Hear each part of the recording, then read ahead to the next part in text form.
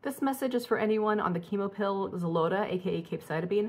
I'm a radiation oncologist, and just in the past week, several patients have talked to me about being on Xeloda and how scared they are of getting a side effect known as hand-foot syndrome. I don't want to fearmonger on social media. It's much more likely that you won't get this side effect than that you would, but their fear is completely understandable because when patients do get this side effect, sometimes their symptoms are so severe that they can't even dress themselves or do other normal activities in their lives.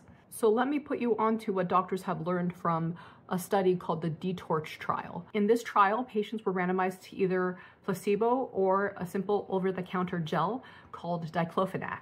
And it was found that diclofenac reduced the chance of getting hand-foot syndrome by threefold. And in fact, the chance of getting moderate or severe hand-foot syndrome was cut by fourfold. Why do I have this in my house? Because my husband and I are millennials with aching joints, and this is normally marketed for joint pain. But on the bright side, that means I can show you how to put it on. So you put on two fingertip lengths per hand. So for both hands, that's four fingertip lengths. Just rub it on. You could apply it to your feet as well. I've even seen patients who have developed hand-foot syndrome before they saw me start this medicine and get improvement in their symptoms. So in my personal experience as an oncologist, it's been helpful for not only preventing hand-foot syndrome, but also treating it. Let me know if you've heard of this or tried it.